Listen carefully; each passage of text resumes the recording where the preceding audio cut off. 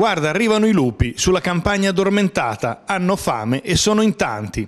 Sono i versi iniziali della canzone I lupi del compianto cantautore di Nova Feltria, Ivan Graziani, ma si possono tranquillamente utilizzare per raccontare la vicenda del signor Serallegri, un serafico pensionato che abita in campagna a Colli al Metauro, nella frazione di Calcinelli, a 100 metri dalla Flaminia, e che l'altra notte ha avuto, alle prime luci dell'alba, un incontro ravvicinato con un branco di lupi che gli avevano appena sbranato quattro pecore nel recinto a pochi passi dall'uscio di casa. È successo che ho sentito il rumore eh, di notte, ma non mi sono alzato subito perché c'è il pericolo magari.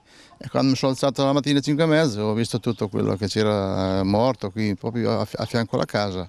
Però i segni sono stati... Sì, sì, sì, sì l'ha detto anche il veterinario, l'ha detto che sono i segni del lupo via.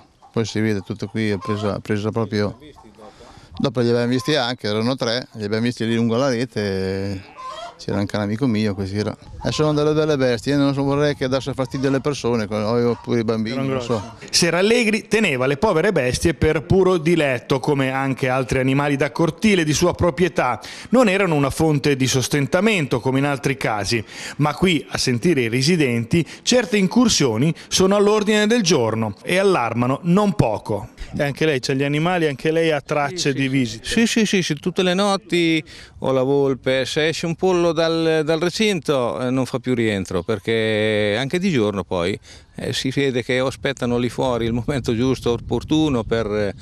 Eh, lo stesso il lupo, nonostante che siamo diciamo, in pianura, vicino al fiume, eh, anche da noi c'è poi una guardia provinciale, l'ha visto proprio lì di là dal fiume da noi, l'ha visto lui di giorno, eh, perciò è un problema grossissimo.